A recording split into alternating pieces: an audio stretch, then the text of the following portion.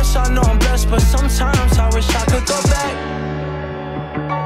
to the way it used to be, just so I feel what I've been missing. Oh.